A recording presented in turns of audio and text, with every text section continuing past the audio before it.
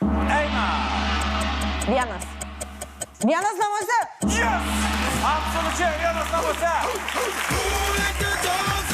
Pirmas taškas. Trečiadienį 19.30 per TV3. Aš niekada negalvojau, kad tai pasakysiu, bet per daug šuniukų.